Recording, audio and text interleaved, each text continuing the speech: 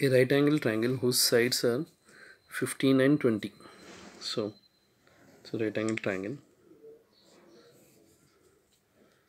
whose sides are like 15 centimeters 20 centimeters.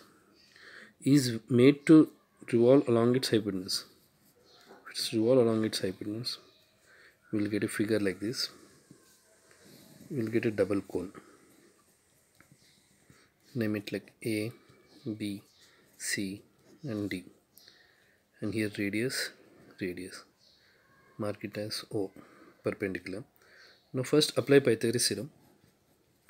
AC square equals AB square plus BC square. AC square equals AB is 15 square plus 20 square. That is 625 so AC is 25 so if AC is 25 AO I'll consider it as X then this will be 25 minus X.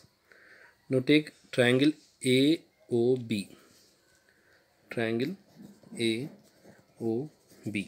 here is 90 so hypotenuse is AB apply Pythagoras theorem.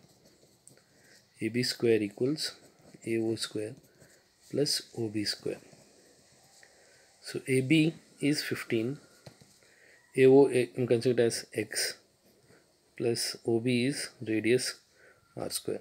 So this is equation 1 now take triangle BOC so in triangle BOC 90 is here. Apply Pythagoras theorem BC square. BC square equals OB square plus OC square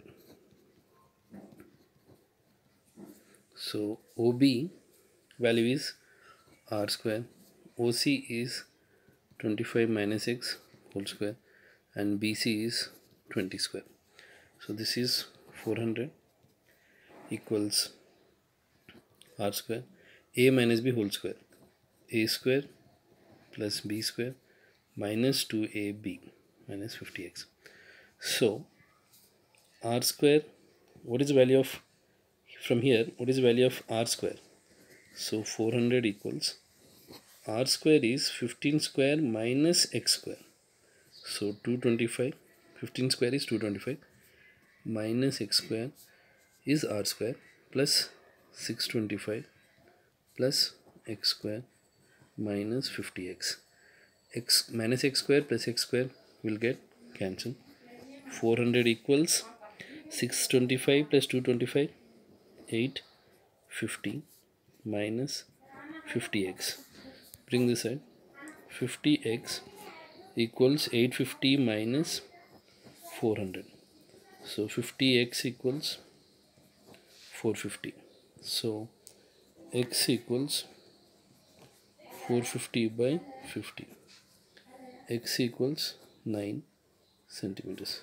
So you got the value of a o so a o here it is 9 centimeters and uh, co is 25 minus 9 that is 16 centimeters CO is 16 centimeters. Now AO is the height of the top cone that is 9 centimeters and uh, CO is the height of the bottom cone. Here two cones double cone top and bottom 16 centimeters. AO is 9 CO is 16. Now these two are the heights of the cones. Now see the top cone dimensions are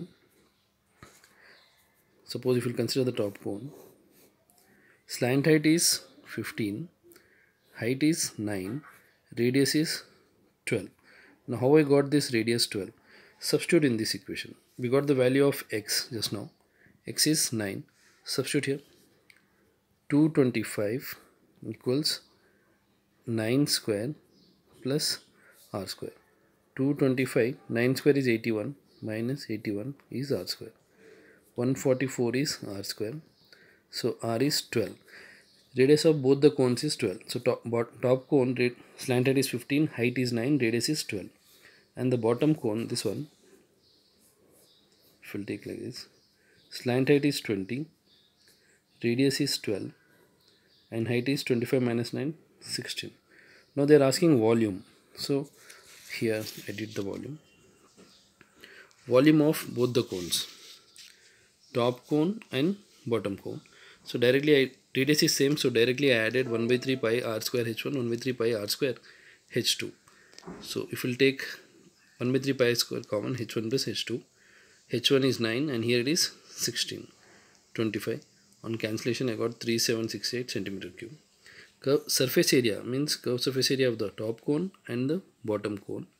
The total is pi r l1 plus pi r l2 pi r if we'll take common l1 plus l2 here slant height is 15 here it is 20 so 15 plus 20 35 so on calculating I got 1318.8 centimeter square. In this way we can solve the problem of a double cone so form if it is revolved along the hypotenuse we'll get a double cone